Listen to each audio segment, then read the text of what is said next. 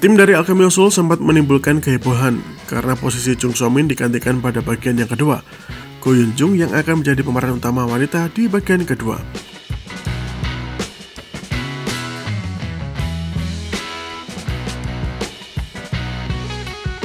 Alchemy Soul sepanjang proses produksi mengalami kontroversi yang cukup mengkhawatirkan.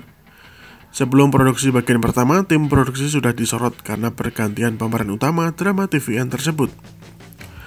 Saat itu, artis Rocky Park Hye-un mengonfirmasi penampilannya sebagai pemeran utama wanita Alchemy Soul.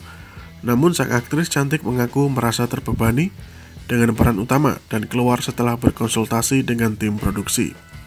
Tim Alchemy Soul kemudian mengcasting Jung So Min yang telah mendapat pengakuan dari publik. Untuk memimpin drama tersebut, alih-alih aktris pendatang baru, sang aktris akhirnya membintangi bagian pertama sebagai karakter Mudok. Di akhir bagian pertama, kisah cinta Mudok dan juga Jang-uk berakhir tragis. Mudok yang dikendalikan oleh Jinmu menusuk Jang-uk membuat pria itu diambang kematian. Dan saat sadar akan perbuatannya, Mudok memutuskan untuk bunuh diri. Tim Alchemy Soul sekali lagi menimbulkan kehebohan setelah terungkap bahwa posisi Chung So Min digantikan pada bagian yang kedua. Dilaporkan bahwa Go Yun Jung yang sempat muncul sebagai tubuh asli Naksu di bagian pertama yang akan menjadi pemeran utama wanita bagian kedua. Namun setelah penayangan Alchemy Soul season yang kedua, awal Desember lalu, kekhawatiran penonton langsung berubah menjadi sebuah harapan. Go Yun Jung berhasil memamerkan kehadirannya yang luar biasa dengan akting melodramatis dan juga komikalnya. Berperan sebagai Jin Buyon, seorang gadis misterius dengan wajah naksu, Ko Yun Jung membuat penonton terkesan dengan pesonanya. Selain itu, romansanya dengan karakter yang dimainkan oleh Lee Jae Wook juga menuai respon yang antusias. Selain itu, narasi setelah pergantian pemeran utama wanita dari Lee Jung So Min menjadi Ko Yun Jung juga sempurna. Disebutkan bahwa Master Lee dan juga Jin Ho Kyung menyelamatkan Jin Buyon namun dengan menggunakan energi naksu. Master Lee mengatakan hanya raga Jin Buyon saja yang bisa diselamatkan namun di dalamnya ada jiwa naksu. Tapi wanita itu kehilangan semua ingatannya tetapi mempertahankan wajahnya sebagai naksu. Tubuh itu juga masih memiliki kekuatan asli Jin Buyon yang bisa melihat energi.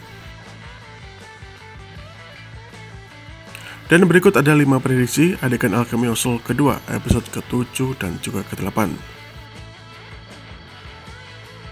Di akhir episode ke-6, Suyel bergegas menyelamatkan Soyi yang diajar oleh orang-orang John Bukwan. Sayangnya karena memakai terlalu banyak energi sihir, Suyel tumbang. Terlebih lagi, cacing darah di dalam tubuhnya sudah memasuki pusat energi. Di episode mendatang, Yuyom akan berusaha menyelamatkan Suyel. Seharusnya Puan Jin akan berperan penting untuk menyembuhkan Suyel. Tapi di episode terbaru tampak Jin Puyon yang memeriksa sumber energi Suyel. Jangkuk akhirnya mengetahui tentang cacing darah dan keberadaan Suyol. Ia tiba tepat di saat Yomsu akan menghunuskan pedang ke arah Suyol.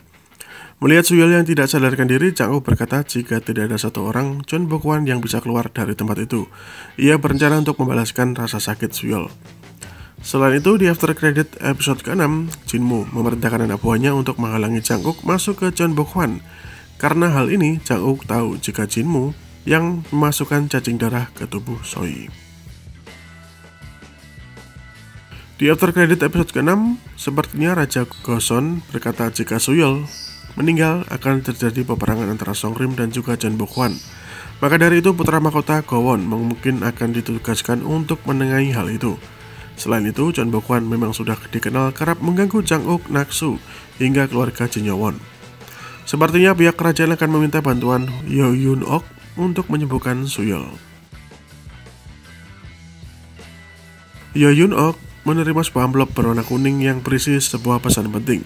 Sayangnya tidak dijelaskan amplop itu dari siapa dan berisi apa. Pada after credit episode ke-6, Ho Yun Ok berkata jika ia akan memberitahukan yang sebenarnya. Di cuplikan selanjutnya tampak Yo Yun Ok yang menyiram Jin Buyon dengan air. Apakah surat itu berhubungan dengan Jin Buyon atau ada hal penting lain yang Yo Yun Ok ketahui? Setelah disiram air oleh Yoyun Ok, Jin Buyon sempat bercermin di depan air. Di sana ia melihat ada tanda pemindah jiwa berwarna biru di matanya. Di cuplikan lain, tampaknya Jang Ok bercerita jika Naksu di dalam tubuh Mudok memiliki tanda biru di matanya. Sepertinya ingatan Jin Buyon semakin jelas. Masih di episode yang sama, Master Lee berkata jika seiring kembalinya kekuatan Jin Buyon, Maka ingatannya juga kembali. Maka dari itu Master Lee meminta Jin Puyon terus menggunakan kekuatannya. Pada episode ke-6, Choi sudah menjadi tumbal. Jangan sampai Suyol juga ikutan menjadi tumbal. Dan selain itu, bagaimana rencana pernikahan antara Park Jin dan juga Kim Do Nah untuk kalian yang ongoing drama ini silahkan komentar di bawah.